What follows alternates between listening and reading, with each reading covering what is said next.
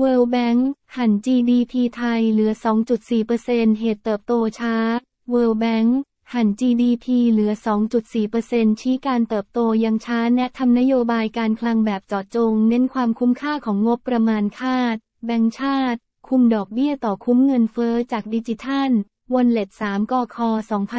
2567 นายเกียรติพงศ์อริยปรัชญานักเศรษฐศาสตร์ อาวุโสประจำประเทศไทย ธนาคารโลก World Bank กล่าวว่าธนาคารโลกได้ปรับคาดการตัวเลขเศรษฐกิจไทยในปี 2567 ลดลงเหลือ 2.4%จากคาดการเดิมที่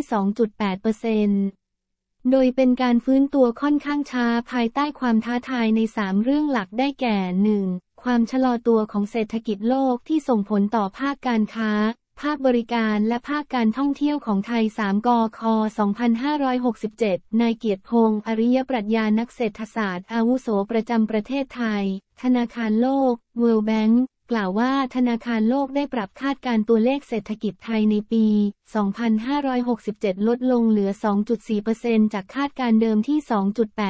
2.8%โดยเป็นการฟื้นตัวค่อนข้างช้าภายใต้ความท้าทายใน 3 เรื่องหลักได้แก่ 1. ความชะลอตัวของเศรษฐกิจโลกที่ส่งผลต่อภาคการค้า ภาคบริการและภาคการท่องเที่ยวของไทยผลดีผลเสียอย่างไร